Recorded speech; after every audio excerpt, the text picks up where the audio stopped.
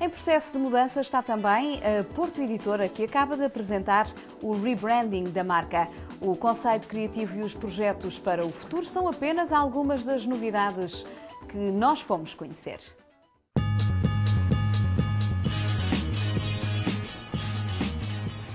Quem entra na sede não tem como se enganar. É dia de mudanças na Porto Editora e nada parece ficar como dantes. Fundada na década de 40 do século XX por um grupo de professores, a Porta Editora manteve a mesma imagem nos últimos 25 anos. Para rejuvenescer e alargar a percepção que o público tem da marca, decidiu que era tempo de mudar.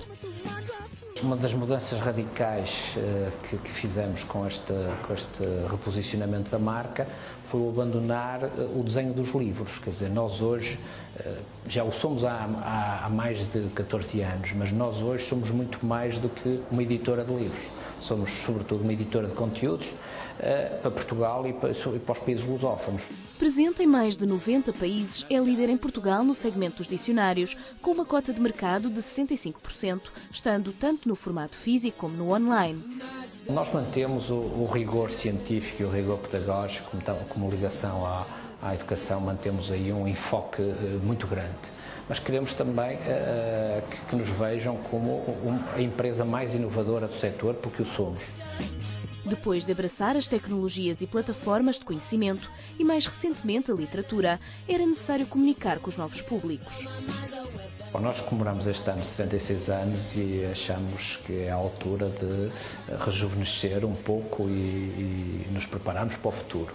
E por isso sentimos necessidade de, de, de, nos apresentar com, com, um ar mais jovem, com um ar mais dinâmico uh, e, no fundo, quase reinventarmos-nos uh, e prepararmos para os próximos anos. Um rebranding com cunho criativo da Remac que, para o reposicionamento, teve em conta os mais de 3.100 títulos da marca.